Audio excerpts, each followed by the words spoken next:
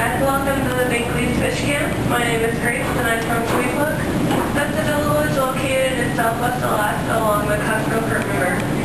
Well, now, Gracie, the fish wheel I know is, is more uh, akin to the Athabaskan. Uh, how does this kind differ from the one that you grew up Well, being out, or being from out on the tundra, the terrain is very different. We have less trees out there.